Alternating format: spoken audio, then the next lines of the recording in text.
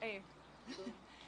Hi, Doc. Kerith Burke, NBC Sports Bay Area. After winning game two, after winning this game like this, are you thinking why not be the eight seed that tries to take down the one seed?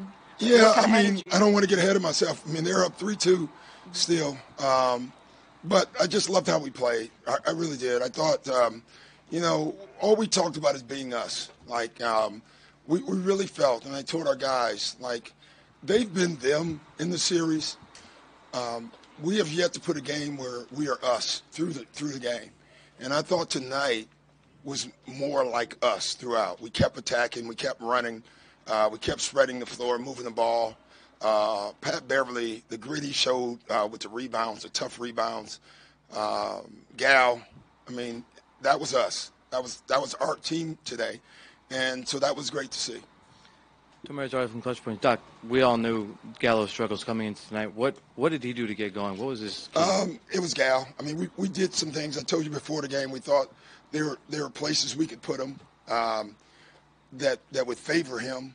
Uh, we did that.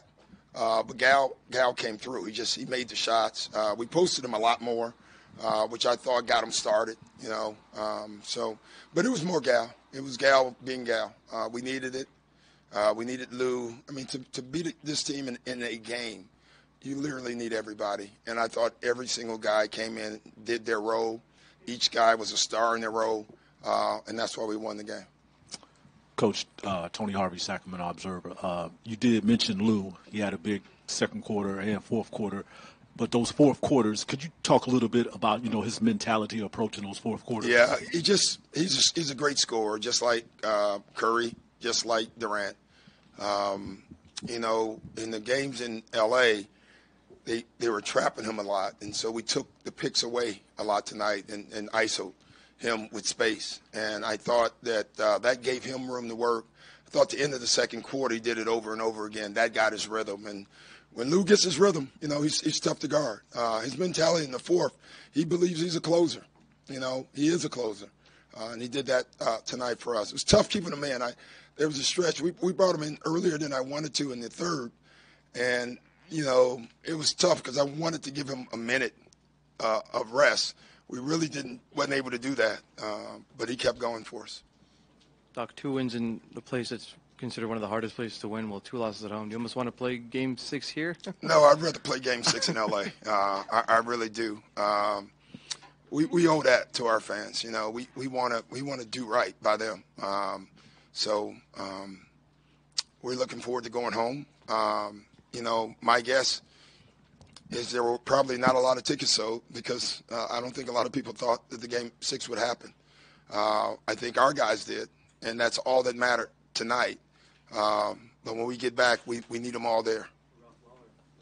Yeah, that's what I yelled, you know, before the game. Um, Ralph told me, and Ralph never speaks to me before the game when I'm on the floor. And he walked up to me, first time ever, and said, Coach, I've had 20 people to congratulate me on my career and say good luck. Like tonight is the end of Ralph. Please do something about that. Um, so, Ralph, we did. That's all good. Colin Ward here, CBS Sports. Um, you mentioned that trying to get Gallinari going a little bit yeah. in this game. Do you think you were successful in that? yeah, we were. Um, he was good. I think he'll be even better in Game Six. I think he now knows where he can score from. Um, you know, at the end, you know, he had a couple of turnovers. That's the areas we didn't want him to have the ball, um, and you know, we got him back out of that spot. But uh, he was he was absolutely terrific. Coach uh, Will Gottlieb, Bleacher Report. Um, you talked pregame about trying to do different things to get Steph out of his rhythm, to get KD out of his rhythm. Um, obviously, KD was really great tonight, but Steph had kind of a cold shooting night. Can you talk a little bit about like the top blocking and just what goes into the process of deciding to try something unconventional on these guys? Well, you have to. You know, um, I, I think the key is I have a group of guys that are willing to try it. You know, they're willing to do different stuff. And, you know, some of the top blocks don't make a lot of sense when you think about it. There's nobody on the backside. Uh, but what we're trying to, and they're doing it, is every time they don't get the ball, it's a good thing. Um, our, our catchers, which we call our help guys, are in support. You know, they're trying to take away the, the back cuts. They, they've done a pretty good job there. Um, we're, we're trying to trap Steph whenever he gets the ball for pick. Um, so we're just trying our best to keep him in the box as much as we can uh, because, you know, when he gets loose, nothing good happens. I thought he dominated the first three games, the first two games, and um, we just felt like we had to do something, and so it's been good so far. Like there was sort of a high after that game two win, and you knew the Warriors were going to come out yeah. firing game three. How do you prevent another sort of? well, I think we've learned the lesson. Okay. Uh, you know, um, and they taught us it. They really did. Um, so uh, they were a great teacher for us, and you know, we had that mentality coming in here tonight. You know, um, and so our guys came out and played.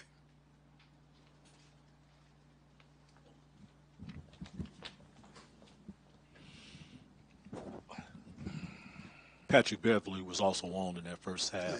Yeah. Four or five, you know, three, three point land. Could you talk a little bit about his play tonight? Yeah, I thought him and JaMychal in particular. Um, you know, JaMychal spacing the floor. You know, uh, we took advantage of their that lineup they had early. You know, with JaMychal being able to stay out and Bogut's back. Uh, Pat was the other guy they were trying to help off of. Uh, he, we told him stay behind the three and let it fly. Uh, he did that tonight. That's how we have to play. Um, you know, Pat offensively was great, but the rebounds, the deep. Uh, when you thought, when you look at this game at the end of the game, he was matched up with fours and fives under the basket, and he kept coming out with the rebound.